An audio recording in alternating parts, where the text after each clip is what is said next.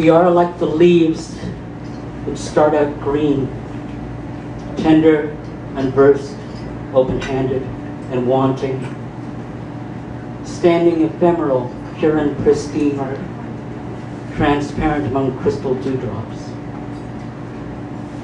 Sometimes we shake hands, or rustle like pom-poms to cheer on the breeze, or stick out bold tongues and bravely taunt the smaller ones while holding tight to bark and branch.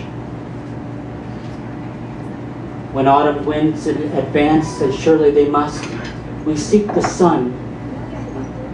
We crane our necks to catch a glimpse before the fall, or thrust out chilled palms to be warmed and healed in the light of another miracle.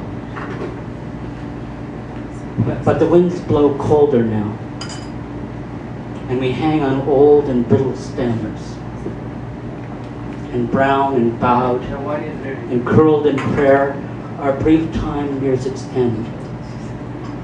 The sun has come and tried our pride and freed us from our jealous greed. We too are redeemed and pass with flying colors, favored children esteemed as magnificent as Joseph.